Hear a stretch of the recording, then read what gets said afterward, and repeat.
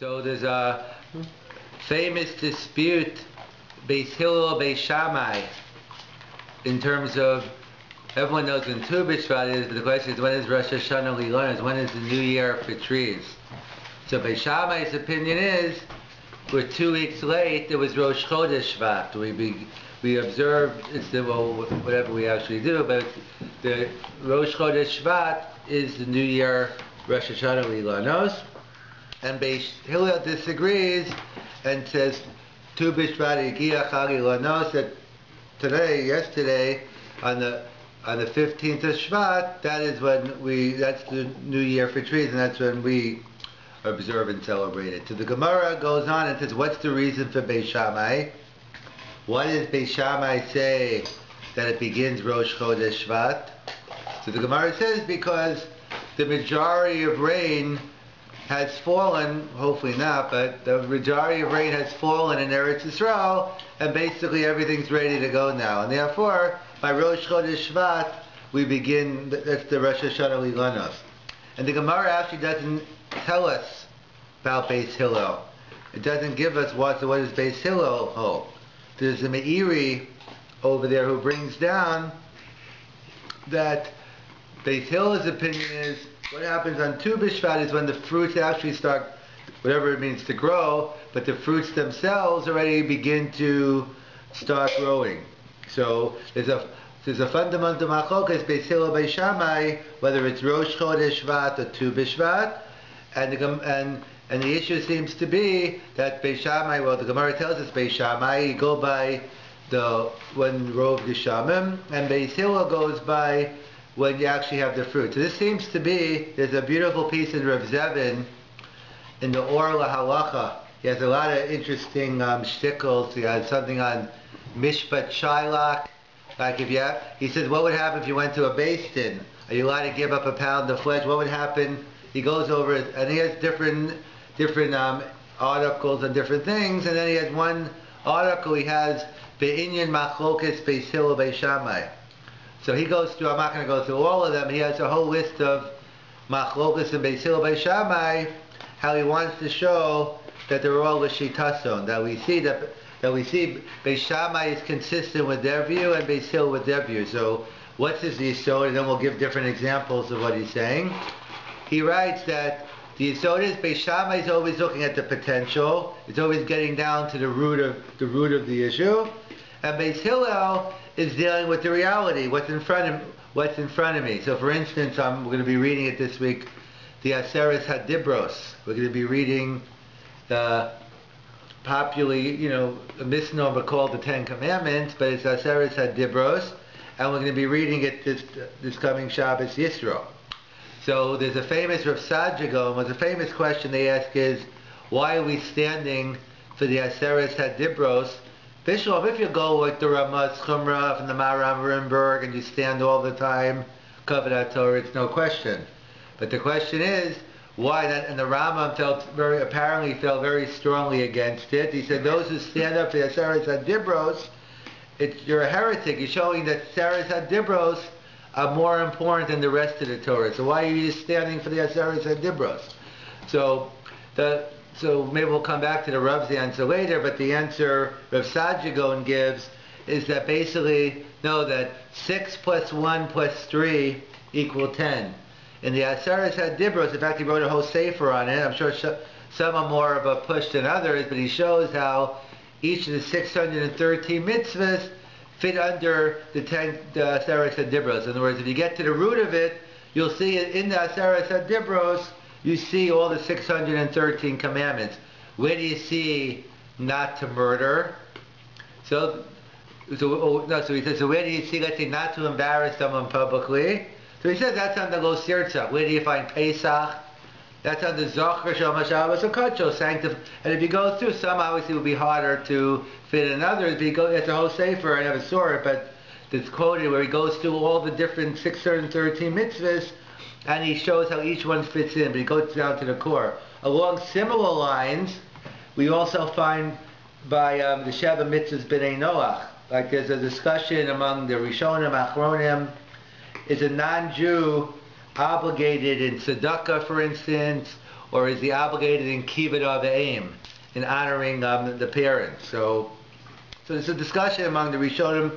So someone to say we see from they say that we see that a non-Jew is chayav. We see from Noach the way the kids treated Noach, and other rayas. Um, the Rambam brings down that as well that let's say someone's a ger and they convert. So even though he's not, even though Gershon is Kaya Kakata Adam, you still have to treat that person like he's your father. You know, people shouldn't think, uh, you know, like Louis Farrakhan does that Judaism is a gutter religion. All of a sudden he's Jewish, he doesn't treat it. So obviously we see from different rayas that it seems to be a non-Jew is chayas. Tzedakah is a, a discussion, but kibbut aim, it seems to be that a non-Jew is chayiv. So the question is, why is he chayiv then? Where's what's the makor? We not, we normally assume a non-Jew's obligation is based on the Sheva mitzvahs b'nei Noach. So I, I haven't seen kibbut aim in the Sheva mitzvahs b'nei Noach. So then, well, it depends how deep you look. So that's how. So the different approaches to the question. So some approach it that it's in there, you just got to look harder. So people have different suggestions. Some Achronim suggest it's based on it's, we know first. Let me tell you what the seven mitzvahs in Noach are. So, so the way I remember them is the big three, the three things you have to give up your life for: Gil Arayz, Ritzicha, etc. And then Aleph Beis Gimadal and Menachai, tearing limb off a live animal, Birkas Hashem, euphemism cursing God, Gezel and Dinam. So some want to say it falls under the bays, the Birkas Hashem. What does Birkas Hashem have to do with Kibbut Aim? Because the famous Gemara in Kiddushin we're all familiar with, that we all have three creators. Mommy, Daddy, and God. Not necessarily in that order, but we all have three creators. And that's why they go into, um, that's why Kibbut Avim is the perfect transition.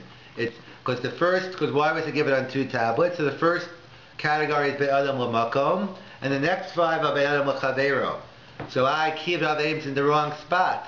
Why is it doing on the on the honoring of God? The answer is we just have to rephrase it. The first five has to do with mitzvahs to our Creator.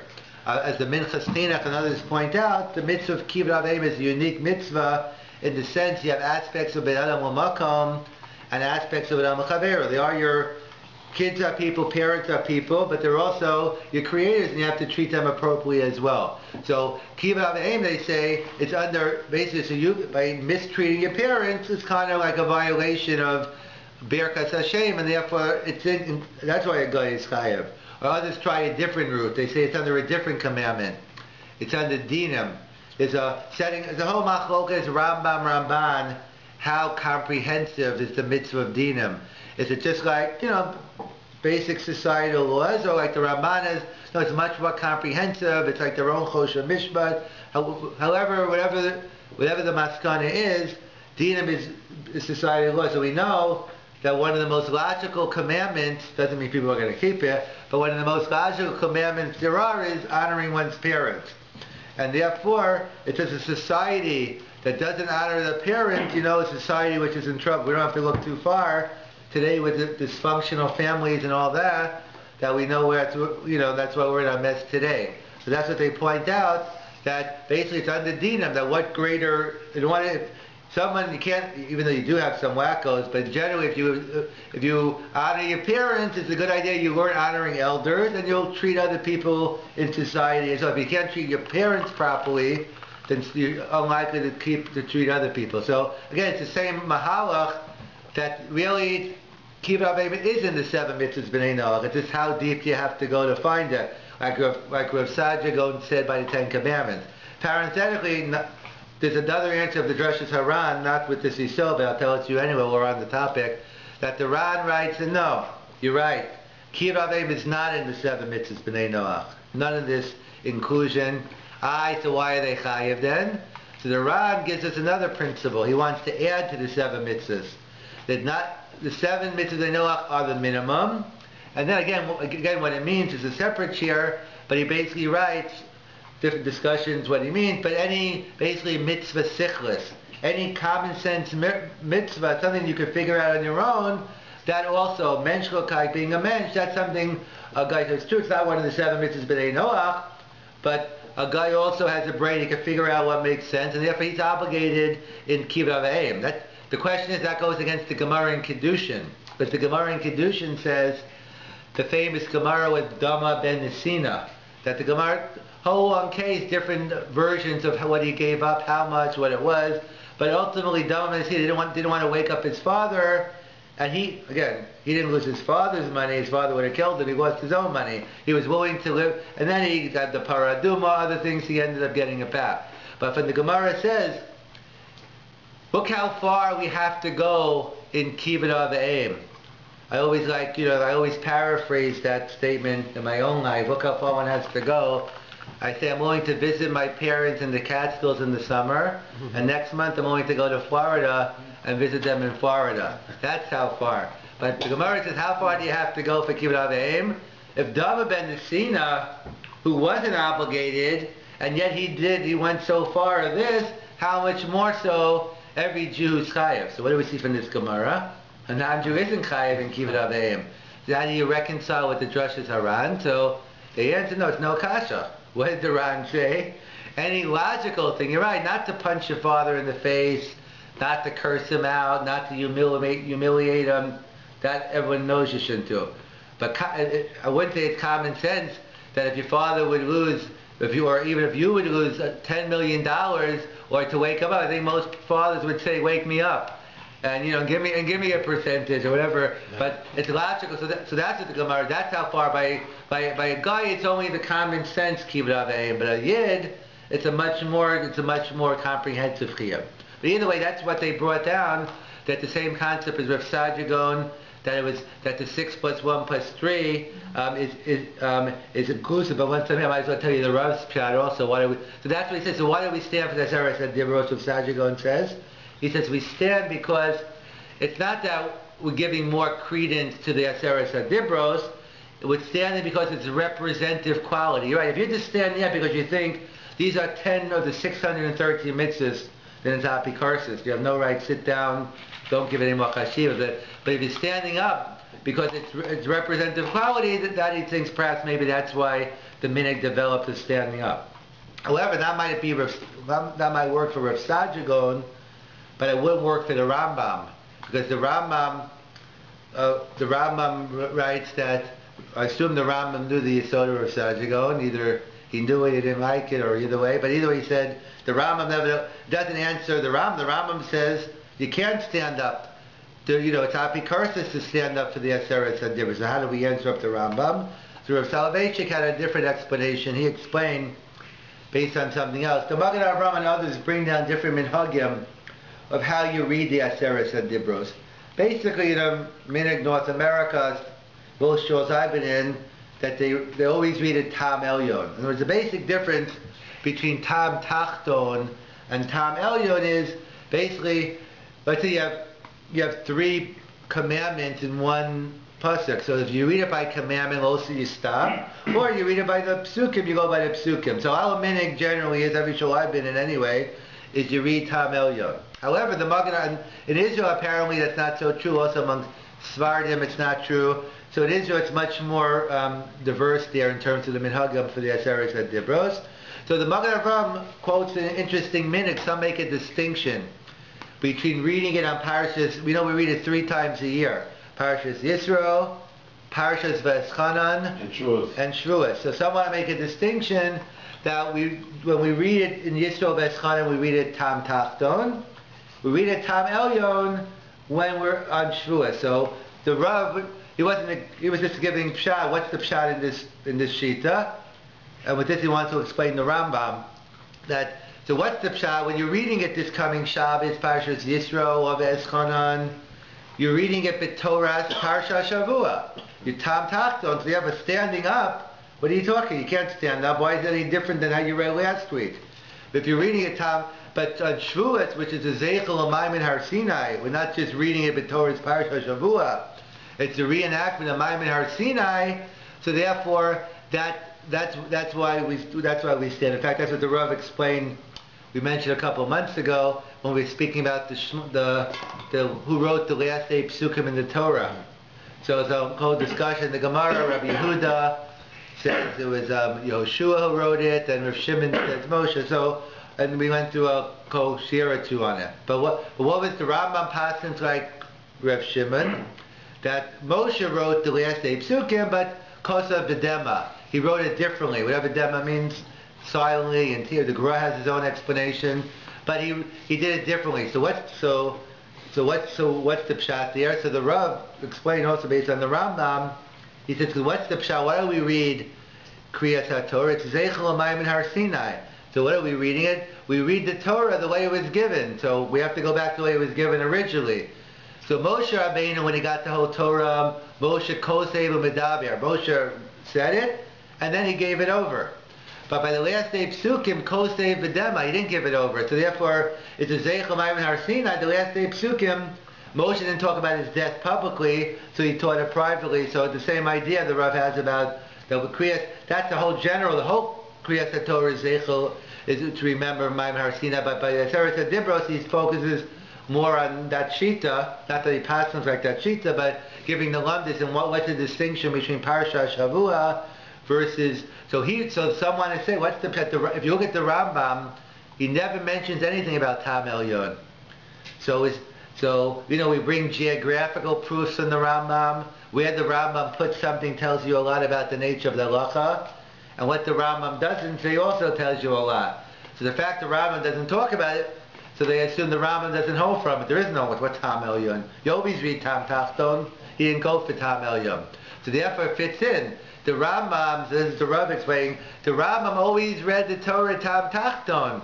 Like like the Torah's Parsha, you always read it normally. So if you stand up for the Aseret Dibros, you're giving credence more to the other place. But the rest of the Torah, but but the, but our minig is we're not going against the Rambam. We're going against the Rambam that we read a Tam Elyon. But even the Rambam would agree if you read a Tam Elyon, then it's okay to stand because you're showing you're not reading it in the classical uh, parasha. So that's how the two reasons, either based on Rav Saadia Gaon, that we stand for its representative quality of the Aseret Dibros, or because the Rav said that is, that it's um, basically the Rambam when we did Tam Tachton, but we do it Zeichel L'Mayim and Sinai, and therefore our minig is Tam Elya, therefore we don't go like the Rambam, but the Rambam only only did Tam Tachton.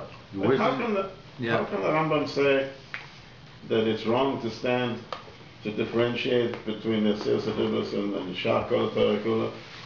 At Har Sinai they were differentiated, they were separated, they were given special status, and it specifically says that they were standing.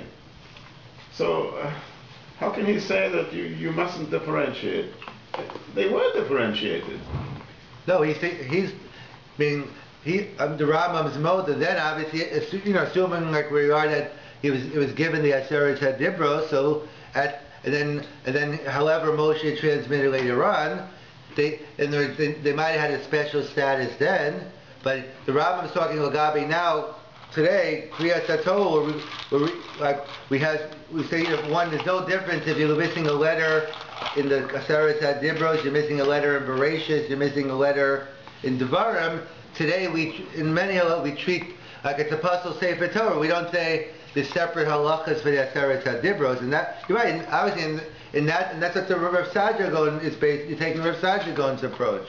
That he's saying it, it represents more than just the Aseret Dibros, and it's okay. That's that's the approach. But the Rav is working with the Mahalach, the, the first letter in, in Bereshis, the you know from the base to the end is you know basically once now the Torah is put in. It could have been before maybe Moshe codified and wrote it.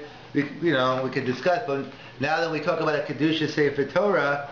Or, or we don't make any distinctions between, um, you know, the, the question, what do we do, why do we stand for Yoshir, other things we do, you know, that's why maybe they say we read it a different tune, Shira, you know, but But even Reb Said Yagona, I think, if I remember correctly, he, he's, he's, he's not saying that lechatchila you should stand. He, wasn't he saying that at once there was already, wasn't, they brought him the question, once there was already a minute, now what do you do? no, right, he was just So then he was trying to find a justification. Right, he was justi- it, otherwise it's a, a, a minute. Right, he was answering up the kash on the round why, why it's not us that to stand. Right. Well, he didn't.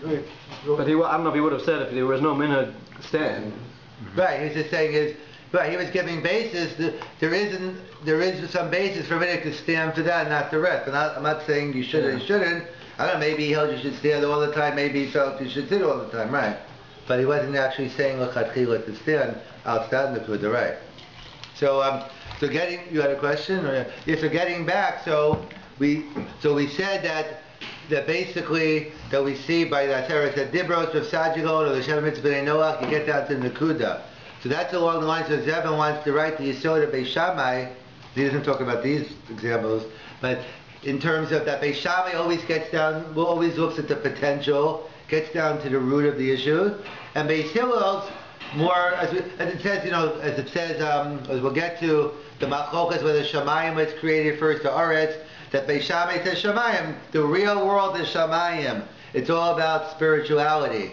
And Beis Hillel says it's true, one, you know, when we get to Olam Haba and that, but right now we live in Olam Hazeh, we got to deal with the realities of this world. But but we'll give a, a couple of um, examples in the Gemaras where uh, Machokas Beis Hillel Beis Shammai wants to say it's it sees that Beis Shammai gets down to the Nakuda, while Beis Hillel deals more on a, on a pragmatic level. So I'll give a couple examples. So one is, I think it's a Mishnah in Uksin, he brings down, when did a fish be, be a, makab, Meimatai dog and makabel tuma? In other words, the halacha is when it's a fish, it's a bal chai, it's not makabel tuma. But when fish becomes food, then it can be makabel tuma. So the question is, at what point does it go from fish to do we call it fish to food? As people always say, you know, I love fish, you know, but they're actually they don't really love themselves, not the fish. but so what's the shot here? So Beis Shammai says Misha Yasudu. When you got them in the, even though they're moving around, they're running around with the with the fish, whatever, but they're alive, but they're stuck in the net. That's it. They're dead right now. They're considered food and the makabel tumor at that point. And Beis Hillel says no, Mishan Yamusu. Not it's not enough they're out of the net. They have to die first. So again, so Be, so is going down to the, the potential that basically that's it. They're stuck in the net. Whether it's going to be another 10 seconds, 30 seconds, whatever long it takes, I don't know. A minute, basically, it's only love is like a musdummy. Basically, that's it. And Beis Hillel says no. It's true they're going to die soon, but I deal with the reality of right now. Right now, Basher Husham. I deal with the reality right now, and therefore um, they're not makabel him until afterwards. Or another example he brings down is the Gemara in Brachas. I think Daf Nun Vav, the Mishnah. We do it every Saturday night. Havdalah. And not only do Havdalah, but we do the Havdalah ala Eish. We make the blessing on the fire. So it's a machokis in the Mishnah between Hillel and Beis Shammai. What's the nusach habracha on Havdalah on the on the on the? So so we know what Beis Hillel says, Bori Moreish. The bracha we make, that's Beis Hillel. What does Beis Shammai say? In the past, Shabara, it's Moreish. It's in the past and it's singular. So what's in the so what's in the Nakudas Hamachokas between Beis Hillel and Beis Shammai? Whether you make Bore Moreish or Shabara Moreish. So the Vilna Gaon in the Shnos Elio, they bring down, he says the same thing. He brings, because what is Beis Shammai? Goes to the potential. He, who was the first Boy Scout? Adam Harishon. He made the first fire. Every fire goes back. That gave the potential for all fires in the whole world. And anytime you go with such a bara, Ma'or goes back to the original. It's one. It's sort of in one. And Beis says, no. I see in front of me, it looks a little orange, yellow, red. It's flickering. I see different shades of fire. Borim Orage. I'm dealing with what I see in front of me, while Beis Shammai goes down to the root, to back to the where it originally was. Uh, Shabara Maor. So it's in the past and it's in the singular. A third example is um, is another another machlokes of Shammai and Hillel in terms of how do you get ready for Shabbos. So how do you prepare for Shabbos? So Shammai used to go ahead and say he used to used to go Shabbos shopping on Sunday, Saturday night if they opened up. Oh, he saw something. Oh, I'm saving this for Shabbos. And then next hour, next day, he found okay, this is for Shabbos. So basically, Shammai always ate the worst one. In other words, he always saved the best for Shabbos, and he and he always ate the second best. And Beis says, "What are you talking about? Baruch Hashem Yom Yom." There's a mitzvah of Kavod Shabbos. It starts on Thursday night, Friday. As we know, the difference between Kavod and Oneg. Oneg is what you do in the enjoyment on Shabbos. covered is the preparation before. Thursday night, Friday, I start looking for my chicken, for my meat, and all that. I don't have to go shopping. So that's the, so so so so basically, what do we see? Beis Shammai sees even during the week on Sunday, he sees the potential for covered Shabbos ready. And Hillel says, no, the luck is on Friday. You prepare. That's all you have to do. Reminds me of um, I once walked into a room.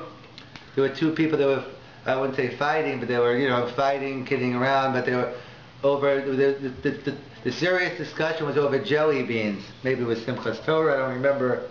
And they were arguing as what should you do? What's you know the different colors of jelly beans? We could change it to licorice or anything else you want.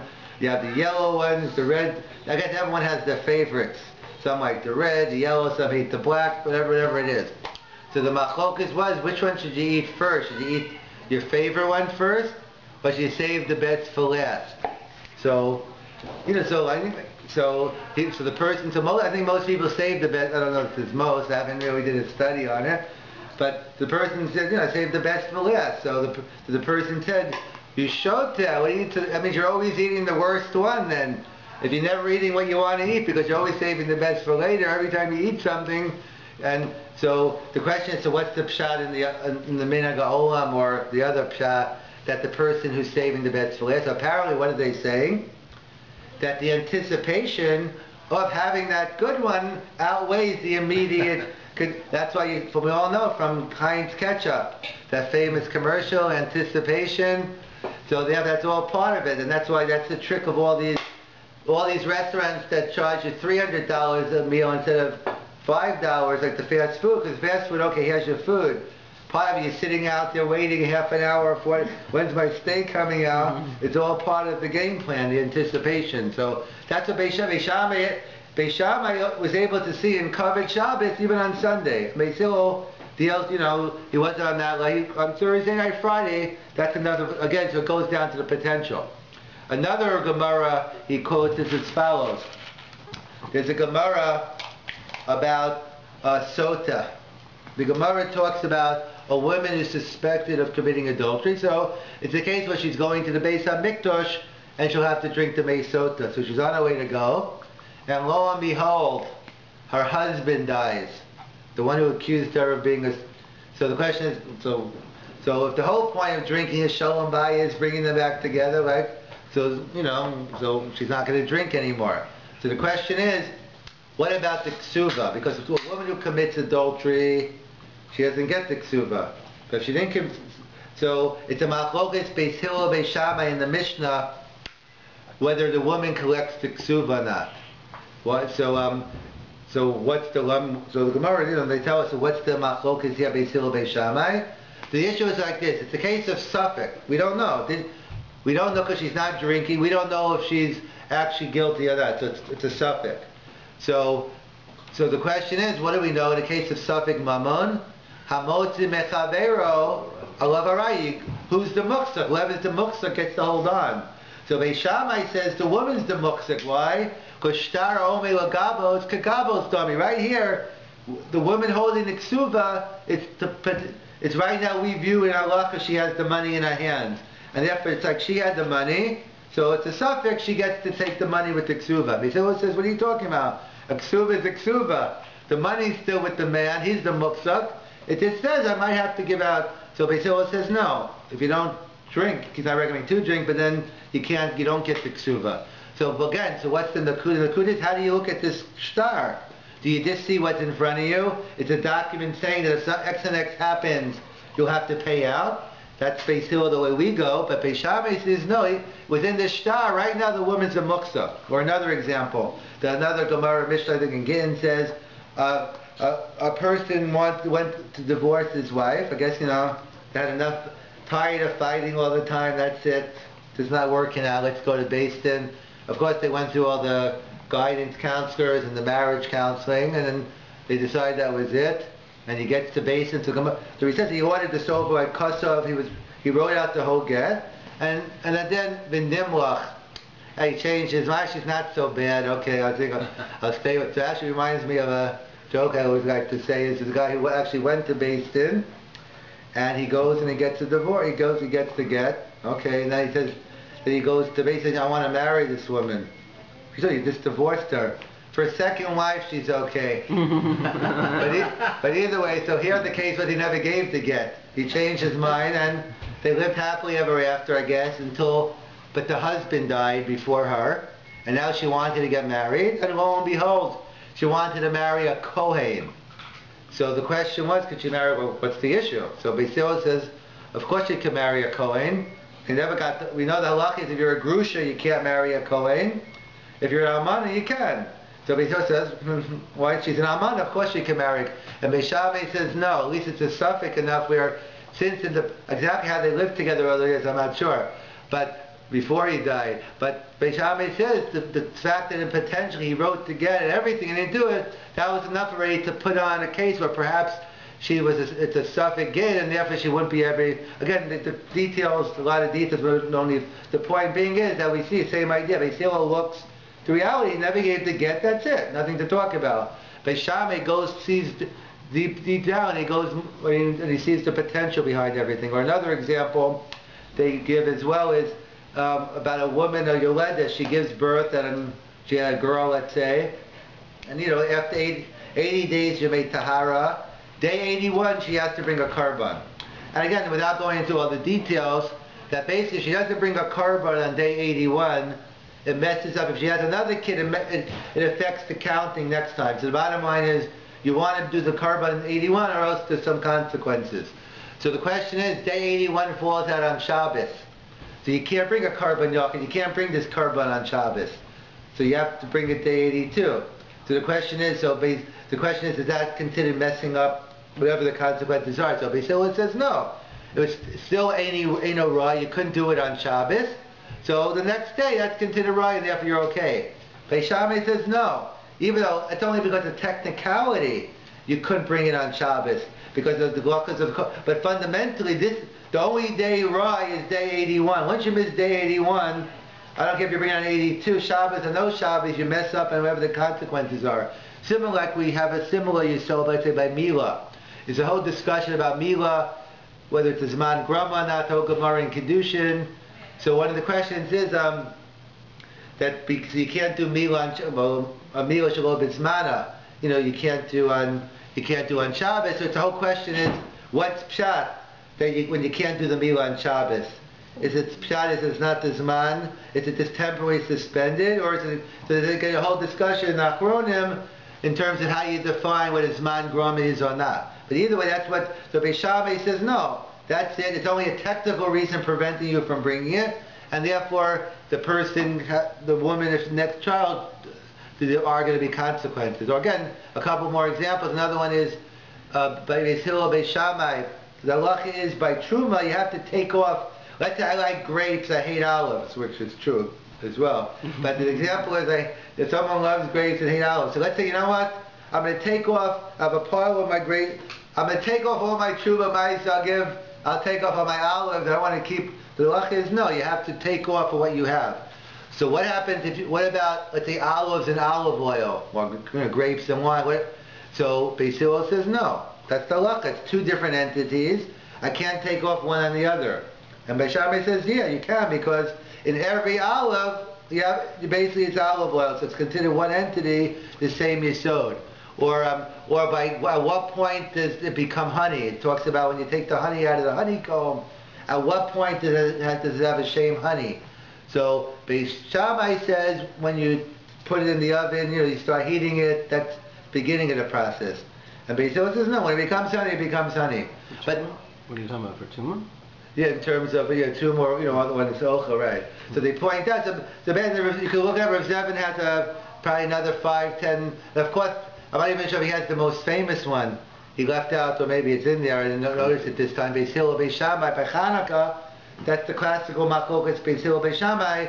Beis Shammai says eight to one because in there the first day, that's the most potential. It's, but the miracle had the potential in eight days, now seven days. I always say, um, what is the best day of a person's vacation? What's the what's the best day of a person's vacation? Of course, the answer is the day before. Why the day before? Because the day before you're planning, okay, Disney, golfing, tennis, beach, what, this rest. But it never works out. You have a list of 100 things. You're lucky if you get 50 in. So that's what, so, you know, Beis Shammai is always looking at the potential, and that's why, in fact, why is it that when, so we know, so I wouldn't say it on my own, but the Gemara Chazal tell us, they give us this picture of Shammai Hazakin as like this grumpy old man. Uh, you know, we have this picture of Hillel, the grandpa giving out the treat, sitting on the lap, come on, have another cookie. Okay, I'm finished, we'll go back to the parents. But, you know, the, the Hillel's and that, you know, giving all the treats and all that. And you have Shammai is this impression of like he's a and Rabbi, Rabbi Lezer, who was a Shammai, you know, so what is that? So, so what is the, what is the connection between viewing looking at everything getting down to its potential and always being, um, you know, tongue in cheek, but always being walking around miserable and upset and never happy. I'm not saying Shammai was that way, but to be that way. So, so we all know that's probably the most, you know, one of the most dangerous things is, is a per, of course, there's always in life you're going to need a balance. The person's always only looking at potential. Maybe in the next world he's right. That's why in, in the Divrei Kabbalah it says, we don't have this in regular sources, but the Divrei Kabbalah, they say that in later on, in most of Mashiach, later on, then we're going to accept Shammai, because we're not ready for Shammai yet. But if you're a real thinking person, Shammai makes a lot of sense. And a lot of times he's like Din, like this is the way it should be. But you know, Hillel's more like Midas Harach. I mean, okay, you're right, it should be that way, but let's, it's the reality, we're human, we're going to make mistakes. The problem is someone who's always looking at potential, should have, could have, would have, you get nowhere in life. You walk around depressed. And you have a moral obligation to be happy, besides being, because there's nothing worse than being around someone who's a chronic complainer, he hates this, this isn't done right. In fact, speaking that to a nice pshat on Yisro, why Yisro got an extra parsha. So many people, why was Yisro? So some, I saw some bring down, many people offer advice. You know, Monday morning quarterback, they're always critical, telling you, but Okay, you have anything constructive? How, how am I going to fix? Yisro didn't just complain. He went ahead and he told Moshe, okay, this is way you have to set up. The great, it's easy to be a Monday morning. It's easy to complain, but it's coming up with a solution. That's what you. That's what you get a parsha named after you. The same thing here. Someone, if you're always looking at potential, then you're always going to be worried. I could have done. And of course, there's an essence we have to have. You have to have drive also, but doing that in extreme, you're going to end up in, in that mode. In fact, we might, I'll give a sports um, mashal. We're getting, um, so I'll give a baseball example. Spring training is probably not far away. The Super Bowl is coming up. So there's a famous, there was a famous pitcher, Jim Kaat. He was, um, I think, uh, played on the White Sox, other teams. And they, I guess later on, they they asked him, how did you become the great Jim Kaat? Like, what made you, like, what was that one thing, you know, they asked, what was that one thing that did it for you? So he said, you know, have, I have to pick one thing. You know what did it? I was I came into the major leagues. There was my first some my first spring training, and I meet the pitching coach. I'm not sure if it was Mel Stottlemyre or not, but whoever it was. And he says to the pitcher coach, says, "Because tell me, what do you have? What are you bringing to the plate here?" He said, "Oh, I have a, my fastball is the best. My curveball is pretty good. Slider not too good. Spitter terrible. Okay, etc. Curve." Okay, so the pitching coach asked him, okay, so what are we going to spend in the next couple of months in spring training fixing here? Yeah, I know my knuckler, my slider. He says, no, you got it all wrong. If you want to be a star, if you want to be an all-star, you know what? You know what's going to, what's going to get you through? It's your fastball. That's your pitch. That's the best pitch. If you're ever going to make it in life in baseball, it's the fastball. Of course, have but but if you, if you because if you end up working on the knuckle, you, then it's never going to be that good. In other words, the point being is that we always make we meaning we being parents, mechanchin or whoever, always make the mistake. We're usually focusing on the students, chesronas or the kids, and we always seem we always seem to neglect the positives and focus on the negative. So that's what you know. When or the same idea with Shaq O'Neal, one of he's a basketball player, terrible foul shooter, but big seven footer so again, like he's never going to be a good foul shot. If he spent his whole day practicing his foul shot, it's not going to get any better. Maybe a little bit. He has to work on rebounding, on stuffing, whatever he's doing. A short. The point is, you always have. To, so the problem is, when you're always looking at potential, you, you, you fail to see the person in front of you, and you, and you know you, you don't see the other side. So that's how Rav Zevin explains. That's how you started all these machlokisim, Beis Hillel, Beis Shammai, in terms of getting down to the potential. That's why Shammai was a to Midas and and Beis Hillel more pragmatic, going. Of course, you have to work on everything, but at the point the, the point we're making is if you worked on every pitch, you wouldn't have you wouldn't have any of them. The point is, you know, of course, everything is going to. You're not going to have time to do everything in Olam Hazeh. So you have to learn to prioritize and pick out what you know what your strengths are, what your kids, students, etc. And that and that tells and then that's perhaps we could take the same yisod here by Tu Bishvat. At Tu Bishvat, that's the yisod Beis Hillel Beishamai. Beis Shammai is Rov Geshamim. The majority rate. Okay, right now this is Rosh Hashanah. There's no no, no fruit, no nothing. Rosh Hashanah Lilanos. And Beis Hillel, that the Meiri writes, no, it's until the fruit actually starts growing on it that you go with the practicality. Like we had the examples of, we had the the case with the when does the fish be, when does the food when does the fish become food? Uh, what bracha on Havdalah Bashabara Moresh Bara Moresh. We had the example of Shammai Shabbos shopping while we going, and then we had um, the, we had the example of someone going to someone going to court and writing out a get but not actually giving it. According to Beis Shammai, maybe she can't marry a Kohen, or we had the the Sota, whether she gets the Ksuva, Sharomas or Gabos, and the cases with the honey from the honeycomb, at what point, all these things are going down that Beis Shammai um, takes out takes out through, and that you know that seems to be the machlokas here as well. Where is this Meiri? The Meiri is it's in Rosh Hashanah by I think Yudalid over there Oh, right by yeah on the Gemara where it talks about because the Gemara doesn't tell us what Beis Hillel says, so Meiri suggests this is um, that's the Meiri's chiddush by um, by Beis Hillel.